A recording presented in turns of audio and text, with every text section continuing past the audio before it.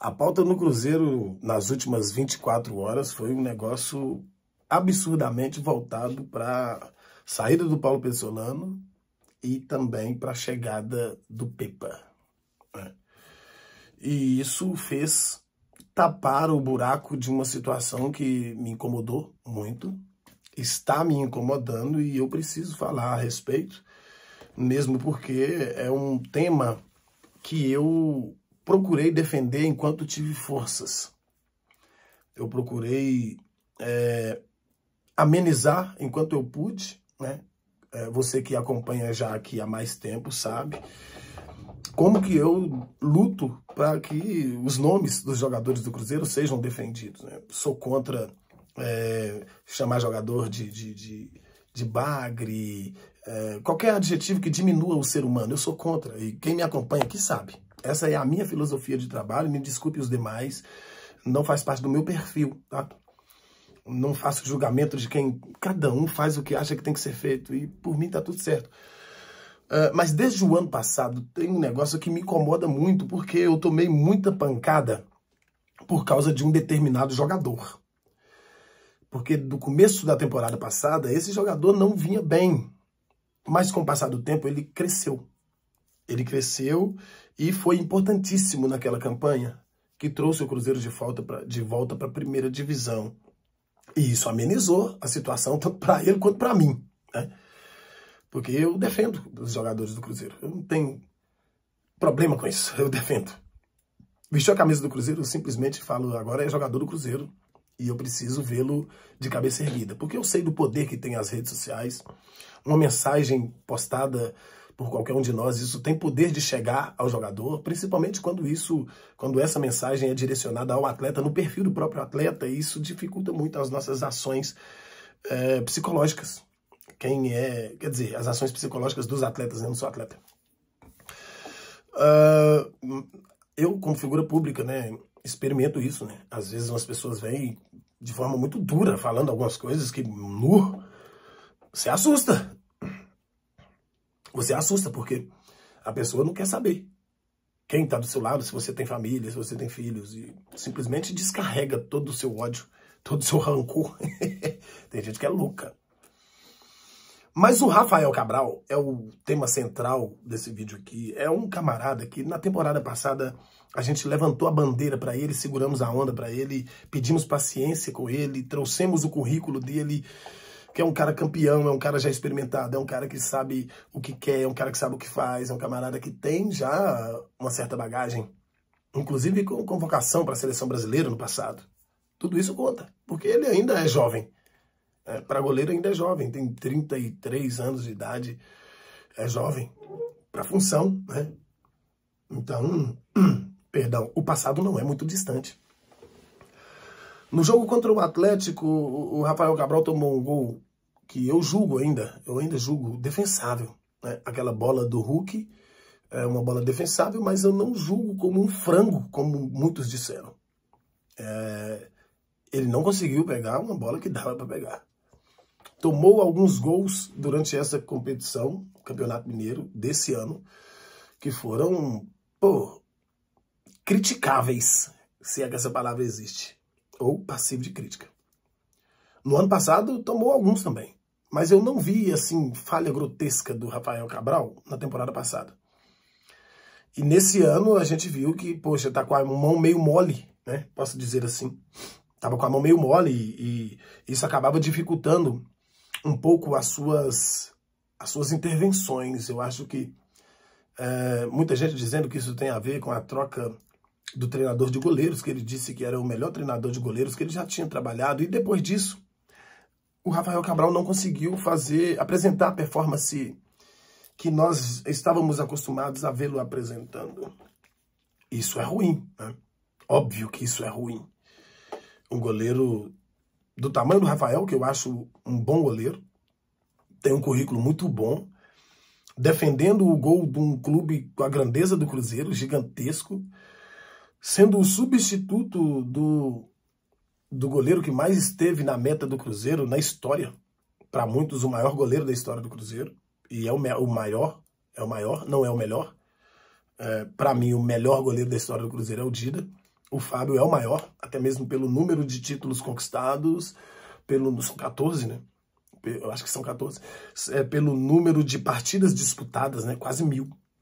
Jogador que tem mais de mil partidas disputadas na carreira. Pelo Cruzeiro, quase mil. Não é fácil. As críticas serão sempre duras. O goleiro que o substituísse teria que ser perfeito na sua totalidade.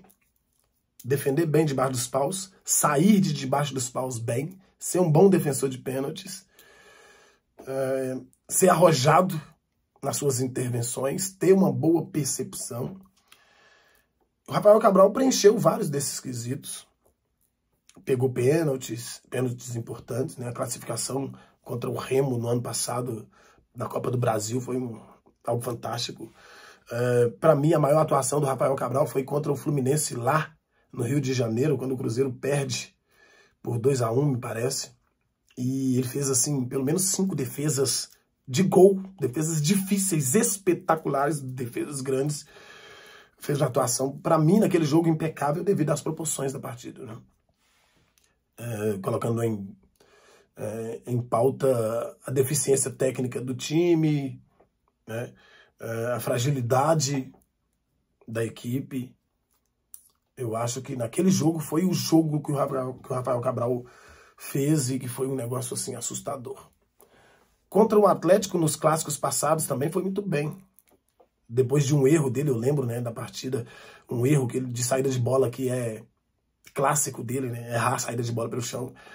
A bola roubada pelo Hulk, saiu de frente, ele conseguiu fechar o ângulo. Ele tem uma saída muito arrojada, né? Ele consegue fechar os espaços, diminuir o ângulo do adversário com muita facilidade, assim. Parece Parece ser com facilidade, né? É difícil fazer aquilo e ele faz bem. Mas o Rafael Cabral toma uns gols que são meio que inexplicáveis. E a gente fica tentando procurar artifício, argumento de defesa. Fica difícil de encontrar.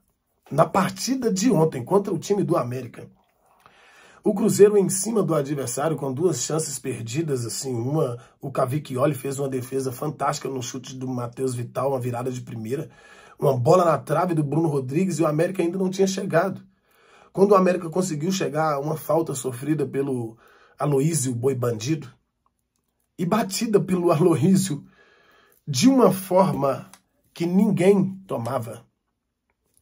Rafael Cabral coloca a barreira protegendo o seu lado esquerdo.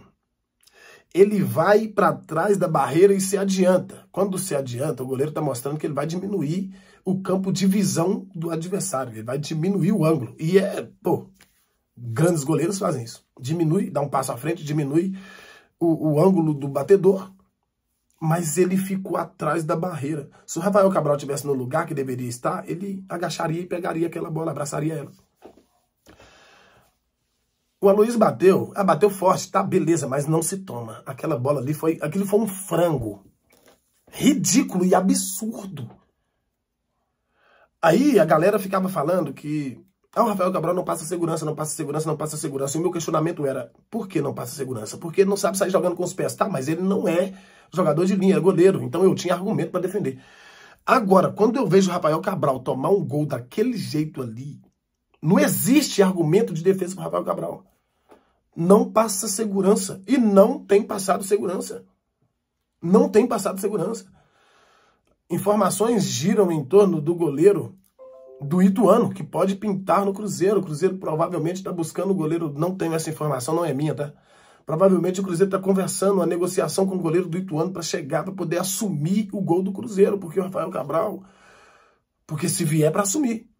Embora Rafael Cabral tenha o respaldo da direção, mas será que ele vai ter o respaldo do próximo treinador?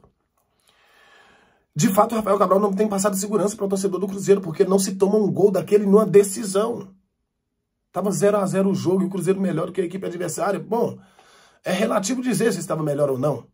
Porque o adversário estava arredio no seu campo de defesa, porque tinha também, sob a sua, né, debaixo do braço, né, o regulamento. Então não se pode dizer que, de fato, o Cruzeiro estava melhor que o América. O América estava se defendendo, e era o que ele tinha para fazer. E a subida que eles dão, eles fazem o gol. E a segunda subida, eles fazem o segundo gol. Não, não pode. Embora o segundo gol não tenha sido culpa dele. A bola foi muito bem batida e foi no canto. Mas um goleiro da grandeza do Rafael, que defende um clube da grandeza do Cruzeiro, não pode tomar aquele tipo de gol. Principalmente no momento de decisão. Um momento conturbado dentro do clube, o que é pior. Ali ele deveria. E não adianta o Rafael Cabral vir para frente da câmera e dizer que a culpa é dele, todo mundo sabe. Que a responsabilidade é dele, todo mundo sabe que um goleiro do nível dele não pode tomar, que todo mundo não pode mesmo. Então, Rafael Cabral, para que a gente possa continuar defendendo você e o clube e o time, você precisa ajudar. Você tem que fazer a sua parte. Porque a gente também não é idiota. A gente não é cego. A gente precisa trazer aquilo que de fato acontece, não aquilo que a gente queria que acontecesse, ok? Realmente você não está passando confiança para a torcida do Cruzeiro.